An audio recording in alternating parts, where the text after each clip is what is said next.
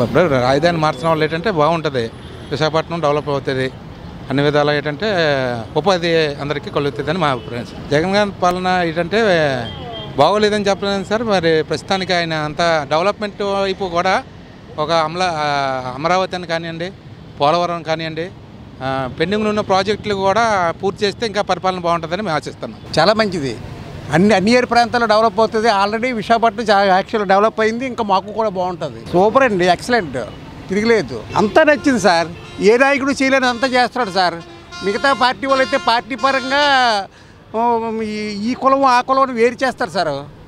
మాది మాత్రం ఈయన మాత్రం మేము ఓసి కాపు. అయినా సరే మాకు ఆటో డ్రైవర్లకి మనిషి ఒక ధర పదివేల రూపాయలు ఇచ్చారు సార్. మా మిసెస్కి ఫార్టీ ఫైవ్ ఇయర్స్. కాపులు బీసీ ఎస్సీ ఎస్టీఆర్ కాకుండా అందరికీ కూడా సమంగా న్యాయం చేస్తున్నాడు సార్. అమ్మఒడి పథకం పెట్టారు.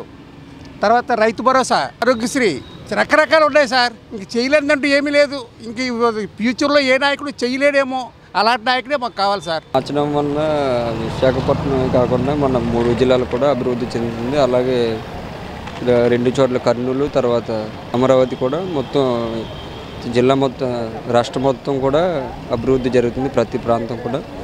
అభిప్రాయం చాలా మంచిది మాకు. ఎందుకంటే మన విశాఖపట్నానికి కర్నూలుకి ఇవ్వడం. రాజధాని ఒక దగ్గర ఉండిపోయింది అనుకోండి అది పొల్యూషన్ ఢిల్లీ టైప్లో వచ్చేది రాబోయే రోజుల్లో.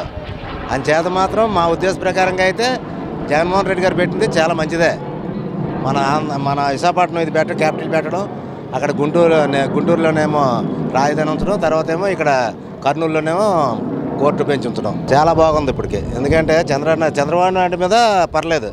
పేదరోధాన్ని ప్రతి ఒక్క కుటుంబానికి కూడా ఆదరణ అనేది ఆటో డ్రైవర్లకి అనేది అన్ని విధాలా కొంత పర్లేదు. ఈయనైతే చంద్రబాబు నాయుడు గారు మాట మాటకి ఏమో ఏ డబ్బు వచ్చినా సరే విదేశాలు తిరగడం లేకపోతే ఎందుకంటే అమరావతి అనడం ఈ రెండే తప్ప. కాకపోతే ఆయన వల్ల కొంత డెవలప్మెంట్ అయింది విశాఖపట్నం. అది కాకుండా ఎందుకంటే పేద అనేది చూడలేకండి దాని మీద జగన్మోహన్ రెడ్డి గారు పర్లేదు. జగన్ పాలన పాలన బాగానే ఉంది సార్ ఇది. ఇప్పుడు ఏంటంటే ఆటో వాళ్ళు ఎంతవరకు ఎవరో ఏ గవర్నమెంట్ కూడా గుర్తించలేదు చంద్రబాబు నాయుడు కానీ ఏ గవర్నమెంట్ కూడా గుర్తించలేదు. కిరణ్ కుమార్ కానీ చంద్రబాబు నాయుడు కానీ ఎవరు గుర్తించలేదు. ఇతను ఆటో వాళ్ళుగా గుర్తించి మాకు పదిహేను వేల రూపాయలు ఇచ్చేశారు. మాకు బా ఆపదలో ఉన్న వాళ్ళు ఆదుకున్నట్టే మాకు. జగన్ గారి పరిపాలన బాగానే ఉంది సార్ మీరెక్కడున్నా ఏం చేస్తున్నా ప్రపంచంలో ఏం జరుగుతుందనేది ఇప్పుడు మీకు పెట్లోకి తెచ్చేసింది one line app. Political movies రాశి ఫలాలు ఆరోగ్య సలహాలు సీరియల్స్ విశేషాలు. ఇలా ఒకటేమిటి? బోలెడన్ని విశేషాలను మినిట్ టు మినిట్ మీకు అందిస్తుంది one line app. So late ఎందుకు? డిస్క్రిప్షన్లో ఉన్న లింక్ ద్వారా వన్ లైన్ యాప్ డౌన్లోడ్ చేసుకోండి. One line it's for every